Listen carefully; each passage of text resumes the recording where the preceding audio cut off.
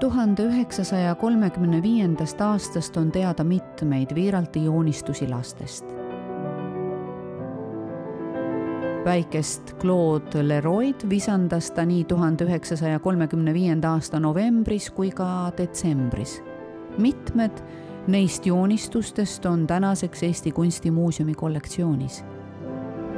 on öeldud, et just Claude'ist kujunes Viiraltil omapärane ideaaltüüp